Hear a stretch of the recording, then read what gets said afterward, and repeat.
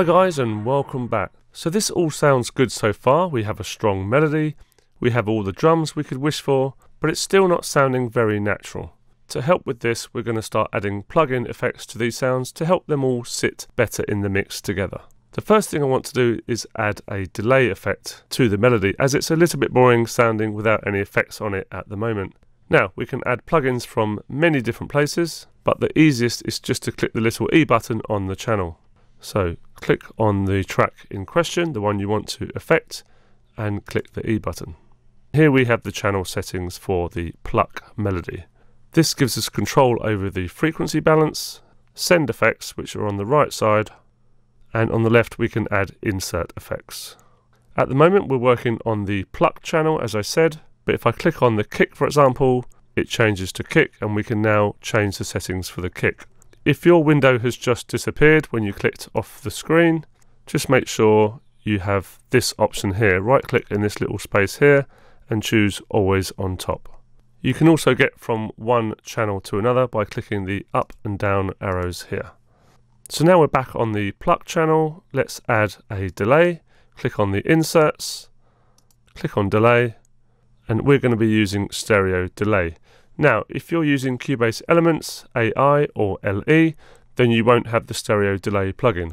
But fear not, there's a really great free stereo delay plugin you can download and use. We've put a link in the description below if you're watching this on YouTube, or if you have the full course, you'll find the video on how to install it and use the delay plugin in the extra videos folder in the work files. It's very, very similar to the Cubase stereo delay plugin, so you can just copy the settings I'm going to show you now. So let's load up this stereo delay plugin and it's pretty simple to use. This ring on the left side shows you how long you'll get between each repeat of the delay on the left audio channel and yes you've guessed it the right ring controls the right delays. At the moment it's set to one bar which means it's only going to repeat every bar which is far too long. So let's set them both to a quarter bar and let's have a listen.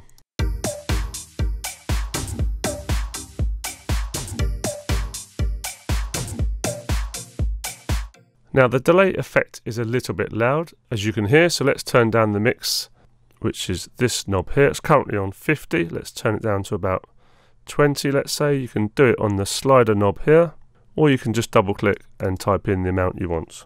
So type in 20, hit return. Doesn't matter that they're ever so slightly different.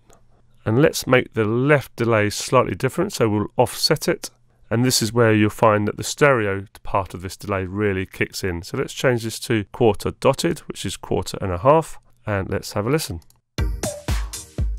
Now you can really hear the stereo effect kicking in now. We just need to lower the feedback amount on the left side. As this delay is a little bit longer, it now carries on for a little bit too long. So we'll change this down maybe 40 or 37 or so. One final listen. Perfect. So one last thing we want to do here, but it's very, very important, and that is to tidy up the frequencies a little bit, which is a really good habit to get into. To do this, we're going to use the EQ, which is here. It's short for equalization, and when I play the project, you'll see the frequencies come up here. So these are just the frequencies of the pluck melody that we're working on at the moment. If this is all new to you, then just know that the left hand side is where all the low frequencies reside and the right hand side is where all the high frequencies reside. And of course the mid frequencies are in the middle. And just to give you an example, I'm going to sweep the low cut filter. So I'm going to click on this button here and drag upwards whilst the track is playing and you'll be able to hear that that will start cutting away some of the low frequencies.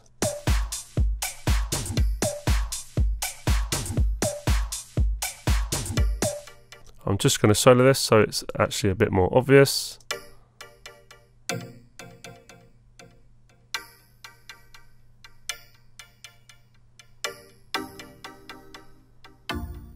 And you can hear the bass frequencies coming back into it as I sweep back down. The opposite will happen if I sweep the high cut.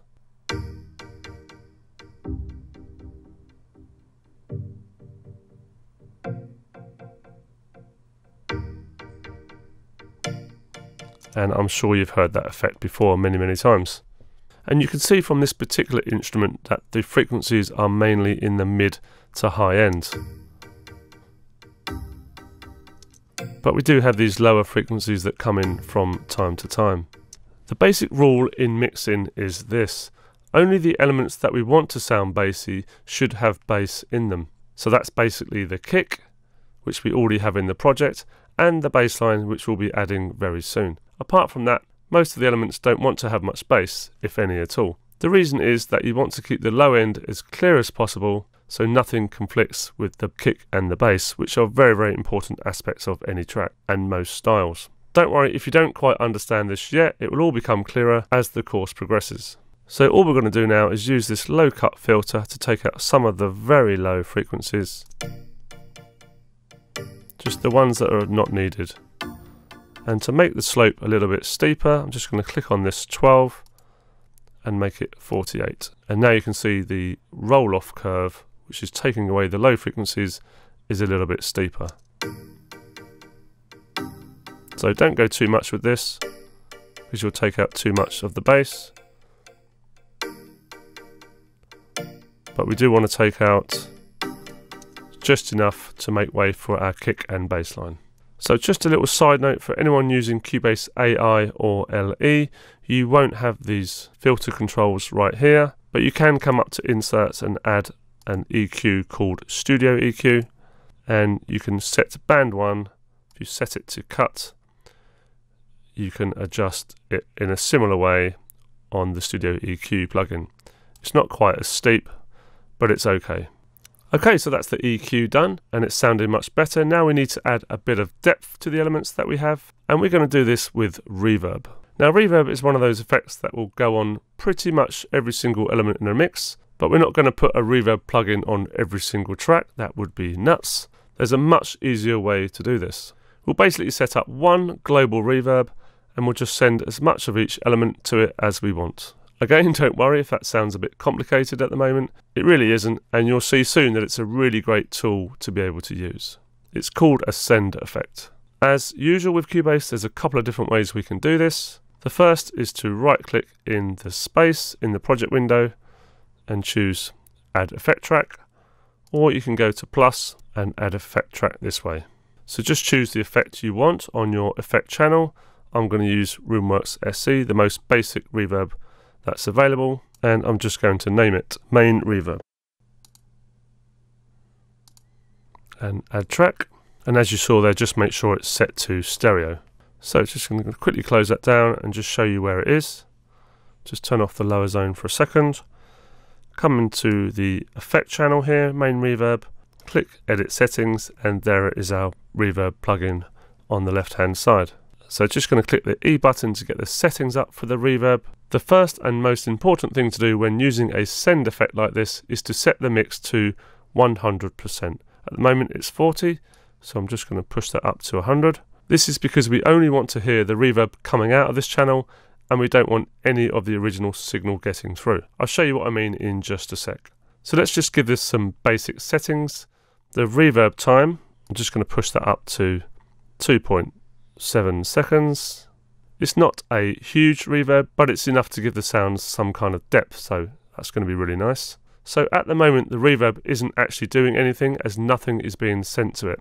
So let's send something to it and let's hear the result. So let's use the pluck. So just going to click on the pluck channel and you can see we are now affecting the pluck channel. And just for a moment, I'm going to bypass the delay effect so we can just hear the reverb.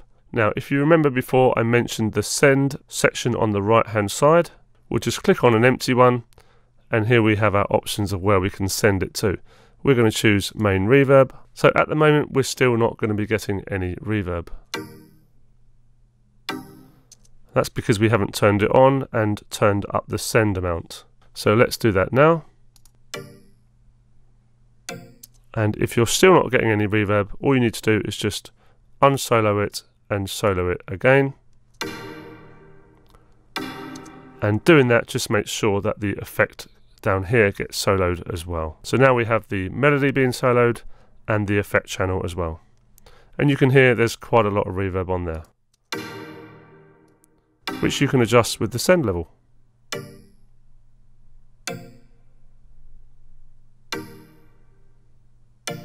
So just change the send level to suit your taste. So by using this send effect, we're not affecting the original signal, we're just simply adding the reverbed signal to it. And this allows us to have one global plugin, as I mentioned before, and we can send multiple elements to it, all with their own custom level of reverb. Pretty neat, huh? And there's an even simpler way of setting this up, which we'll get to when we start looking at adding sound effects later in the course. But I wanted to show you this now as it makes understanding how sends work a little bit easier. So let's send some more elements to our lovely shiny new reverb. Now I don't really want to go into every single channel and manually add a reverb send to every single one. There's a far easier way to do that, it's a little shortcut which I'm going to show you now. Just close down the settings for a second.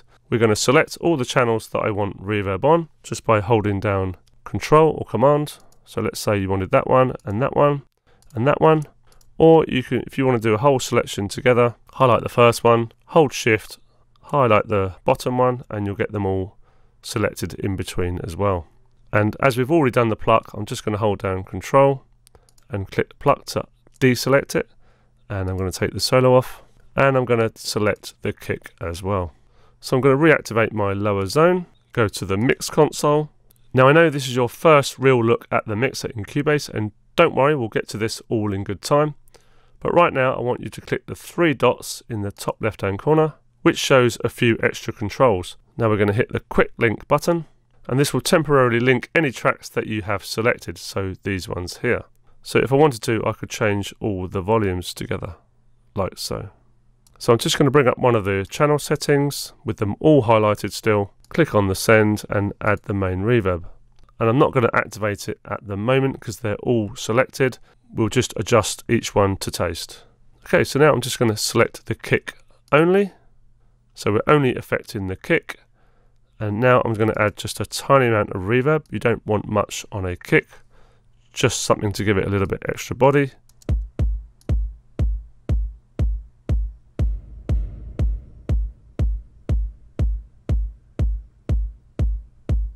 maybe something around there.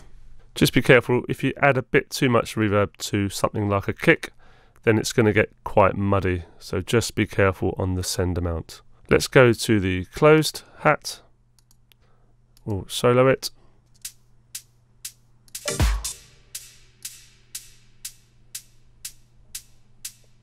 And again, just add a little bit, just to give a bit of space around that hat. I'm going to go through the rest of the sounds and add a similar amount to each one. It's all very rough at the moment, but we'll be fine tuning this all as we go. And in the mixing stage, of course, we'll be doing it in a lot more detail. So it doesn't matter if it's not super accurate at the moment.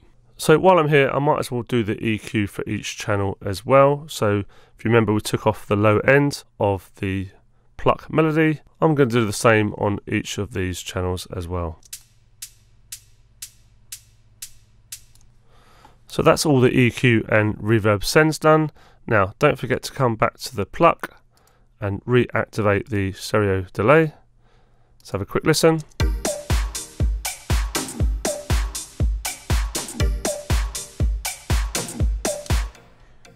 Okay, so I'm sure you agree that sounds a lot, lot better than what we had at the start of this lesson. So that's it for the free lessons. We really hope that you enjoyed getting started in Cubase and maybe you already feel like you know enough to be able to go away and make your own music, which is really awesome. But if you want to learn how to make the rest of this track and learn loads more about Cubase, how to synthesize bass lines, how to arrange tracks, how to record guitar, how to record vocals, how to mix an entire song, plus loads more, then check out the link in the description to see the full course. So just a reminder of what you can make if you finish the course. I'm going to say goodbye and let the track play in full. Thank you very much for watching guys and girls. Hopefully see you in the course. We're going down, it's a fight for survival. We're too headstrong, never wanna be wrong. Now we're going down a road that we can't come back from. The damage is being done.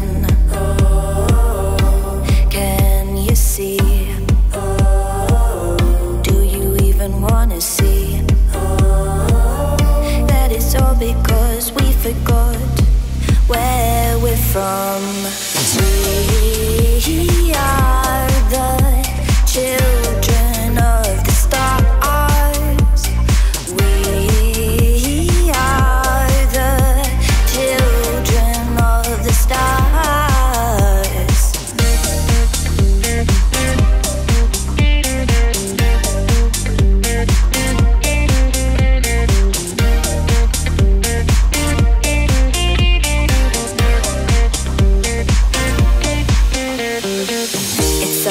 Us, we're never gonna give up. We got a long way to go, but we'll make it up. We'll never stop till the wrongs are righted and we stop the blame and divide it. Can you see? Do you even wanna see?